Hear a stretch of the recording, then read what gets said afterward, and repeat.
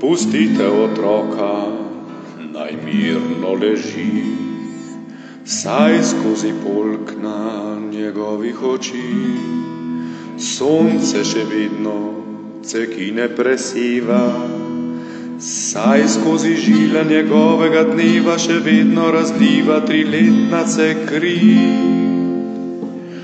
Pustite otroka, naj mirno leži, saj skozi sanje njegove in svoje. Sem mati še vedno, saj skozi povoje. Še vedno pronica njegov sladki klic za menoj.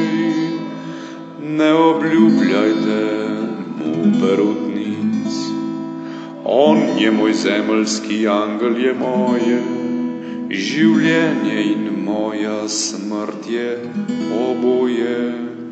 Pustite otroka naj mirno leži, ne dajajte v zibelj ga belo svileno, ne bo mogel spati pod ploščo kamino, le moje naročje mu varno diši. Le mi dva sva skupaj nikoč bila eno, pustite otroka naj mirno leži. Pustite otroka naj mirno leži.